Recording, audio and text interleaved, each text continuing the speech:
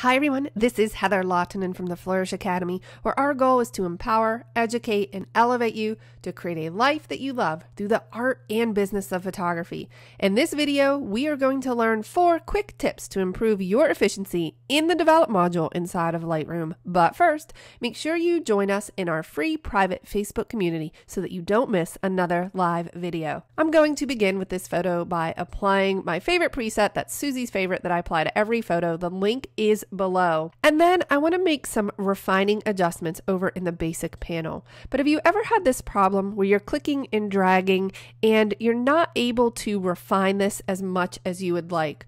Well, a quick tip is to place your cursor on the edge, drag your panel as far to the left as possible, and you will be able to select more finer increments of these sliders, which is a very useful tip.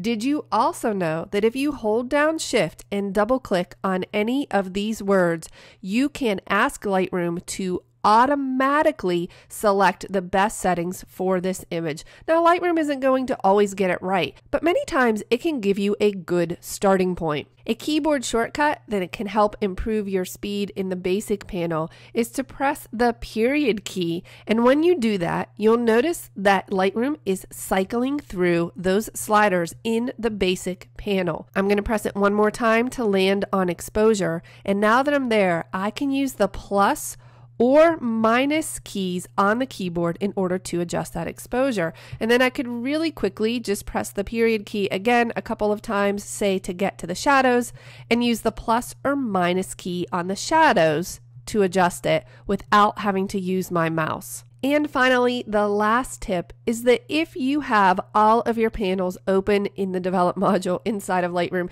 it can get a little bit confusing.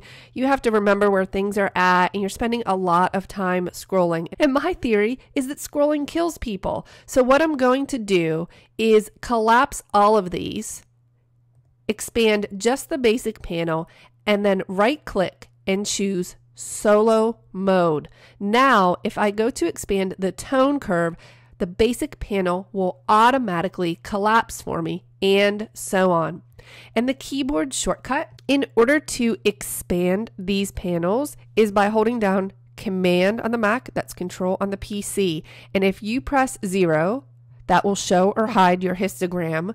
Command or control one is the basic panel. Command or control two is the tone curve. Command or Control 3 is the HSL sliders, and so on. And you can actually get pretty adept at using those once you memorize them. Hey, let me know in the comments below what your favorite tip was. I find all of these to be really useful and they help me to improve my efficiency. I'll see you in the next video.